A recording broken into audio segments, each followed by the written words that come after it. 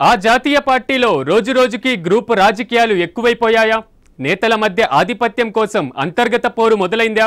ఎవరికి వారే యమునా తీరే అన్నట్లుగా వ్యవహరిస్తుండడం ఆ పార్టీకి కష్టాలు తప్పేలా లేవా? ఇంతకేదా పార్టీ? ఏమా కదా లెట్స్ వాచ్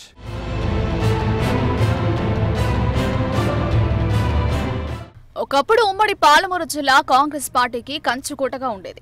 ఏ ఎన్నికలు జరిగినా మెజారిటీ స్థానాల్లో కాంగ్రెస్ పార్టీ విజయ బావుట ఎగురవేసేది రాష్ట్రాలతో పాటు కేంద్రంలో కూడా కాంగ్రెస్ పార్టీ అధికారంలో ఉంటూ అటు కార్యకర్తలు నాయకుల్లో జోష్ నింపేది.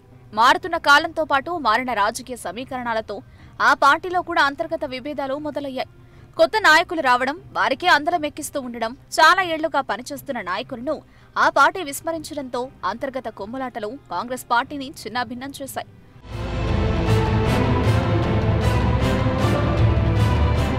టీఆర్ఎస్ పార్టీ రెండు వేల పద్నాలుగు ఎన్నికల్లో రాష్ట్ర వ్యాప్తంగా తమ ప్రభంజనాన్ని విస్తరింపజేయడంలో కాంగ్రెస్ పార్టీ పరిస్థితి జిల్లాలో దయనీయంగా మారింది.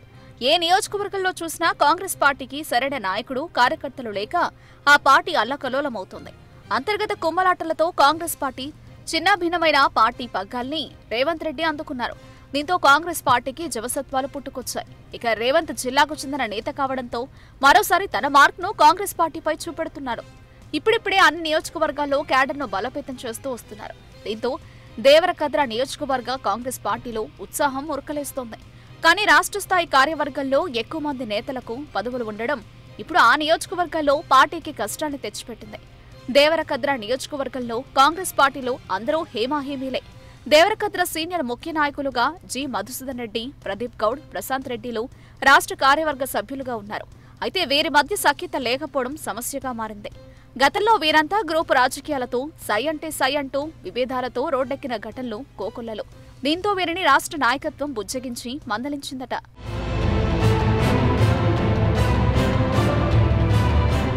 ఇప్పటికీ పార్టీలో సఖ్యత లేకపోవడం ఎవరి దారిన వారు వెళ్ళడం కార్యకర్తలను ఆందోళనకు గురిచేస్తుందట ఎవరికి వారే భవిష్యత్తులో తమకే ఎమ్మెల్యే టికెట్ వస్తుందని ఇప్పటి నుంచే విస్తృత ప్రచారం చేసుకుంటూ ఉండడం దేవరకద్ర నియోజకవర్గంలోని కాంగ్రెస్ శ్రేణులను అయోమయానికి గురిచేస్తోంది ఏదైనా ఆందోళన కార్యక్రమం చేపడితే నామమాత్రంగానే ఆ నాయకులు పాల్గొంటున్నారన్న ప్రచారం సైతం కొనసాగుతోంది. ఈ నేపథ్యంలో టీడీపీలో కొనసాగుతున్న మాజీ ఎమ్మెల్యే సీతా దయాకర్ రెడ్డి ఖచ్చితంగా కాంగ్రెస్ పార్టీలో చేరుతున్నారని దీనికి కాంగ్రెస్ రాష్ట్ర నాయకత్వం మద్దతుందని ప్రచారం సాగుతోంది. గతంలో రేవంత్ రెడ్డి టీడీపీలో ఉన్న సమయంలో రేవంత్ రెడ్డికి సీతా దయాకర్ రెడ్డి కుటుంబాలకు మధ్య సఖ్యత ఉండడం ఈ వ్యాఖ్యలకు మరింత బలాన్నిస్తోంది. దీంతో చాలా ఏళ్ళుగా పార్టీని నమ్ముకుని భవిష్యత్తులో తమకు అవకాశం వస్తుందని నమ్ముకున్న కాంగ్రెస్ సీనియర్ నేతలకు ఈ వార్త మింగుడు పడ్డం లేదని మింగలేక కక్కలేక ఆందోళనకు గురవుతున్నారని టాక్ వినిపిస్తోంది.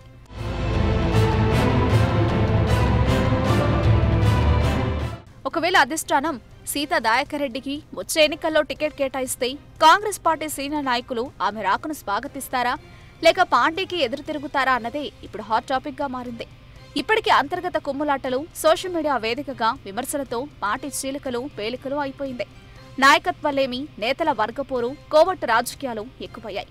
దీంతో పార్టీని ట్రాక్లో పెట్టడం ఇప్పట్లో అయ్యే పనేనా అనేది క్యాడర్ ప్రశ్న. కాంగ్రెస్కు బలమైన ఓటు బ్యాంకు కరడుగట్టిన క్యాడర్ ఉన్నప్పటికీ సమన్వయం లేదు. సందర్భం దొరికితే నాయకులు ఒకరిపై ఒకరు తీవ్ర స్థాయిలో విమర్శలు చేసుకుంటున్నారు. దీంతో లాభం లేదనుకున్న కొందరు కార్యకర్తలు పక్కచూపులు చూస్తున్నారట.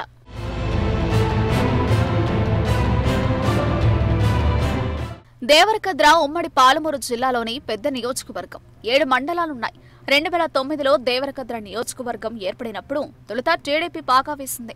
రెండు వేల పద్నాలుగు రెండు వేల పద్దెనిమిదిలో టీఆర్ఎస్ పట్టుబిగించింది కాంగ్రెస్కు క్షేత్రస్థాయిలో పట్టున ఎన్నికల నాటికి చతికిల పడిపోతుంది. గత మూడు ఎన్నికల్లో జరిగింది అదే. ఈ పరిస్థితికి క్యాడర్ చెప్పే కారణాలు అనేకం ఉన్నాయి ఎన్నికలు సమీపించే వరకు అభ్యర్థి ఎవరో అధిష్టానం తేల్చదని అప్పటి వరకు టికెట్ కోసం పోటీ పడిన వాళ్ళు సహకరించక కోవట్టులుగా మారి సొంత కొమ్మనే నరికేస్తున్నారని చెప్తున్నారు. వచ్చే ఎన్నికల్లో అందరినీ కలుపుకుని వెళ్ళి కాంగ్రెస్ను గెలుపు తీరాలకు తీసుకెళ్ళే నాయకుడు ఎవరనే చర్చ తాజాగా ఊపందుకుంది. నిన్న మొన్నటి వరకు దేవరకద్ర కాంగ్రెస్ ఇన్ఛార్జిగా ఉన్న పవన్ కుమార్ రెడ్డి హస్తానికి గుడ్ బై చెప్పి బీజేపీలో చేరిపోయారు. రెండు వేల పద్దెనిమిదిలో కాంగ్రెస్ నుంచి పవన్ కుమార్ రెడ్డే పోటీ చేశారు. ఇన్ఛార్జి పదవి కోసం పలువురు పోటీ పడుతున్నా పార్టీ ఎవరిని ఎంపిక చేయలేదు? ఇన్ఛార్జ్ పదవి వస్తే వచ్చే ఎన్నికల్లో పోటీ చేయొచ్చని ఎవరి లెక్కల్లో వాళ్ళున్నారు ఈ క్రమంలోనే ప్రత్యర్థిని బలహీనపరిచేందుకు సోషల్ మీడియాను వాడేసుకుంటున్నారు. కాంగ్రెస్ నాయకులే ఒకరిపై ఒకరు తీవ్ర విమర్శలు ఆరోపణలు చేసుకుంటున్నారు.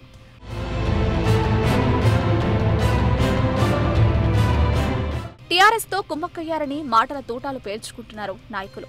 అదే సమయంలో మాజీ ఎమ్మెల్యే సీతా దయాకర్ రెడ్డి జంపన టాక్ వీరిని మరింత ఆందోళనలోకి నెడుతోంది. స్థానికంగా పార్టీ కోసం పోటీ పడుతున్న నేతలకే టికెట్ ఇవ్వాలని క్యాడర్ కోరుతున్నా.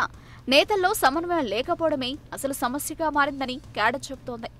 ఈ తరుణంలో పార్టీ అధిష్టానం ఏ నేతకు పట్టం కడుతుందో లేక పక్క పార్టీ నేతల్ని తీసుకువస్తుందా అన్నదే చర్చనీయాంశంగా మారింది. మొత్తం మీద దేవరకద్రలో హస్తం పార్టీని గట్టెక్కించే నాయకుడి కోసం క్యాడర్ ఎదురుచూస్తోంది. ఇప్పటికే చీలికలో పేలికలు అయిన పార్టీని ఎవరు గాడిలో పెడతారోనన్నదే ఆసక్తికరంగా మారింది. మరి భవిష్యత్తులో ఆ పార్టీలో ఏం జరుగుతుందో వేచి చూడాల్సిందే.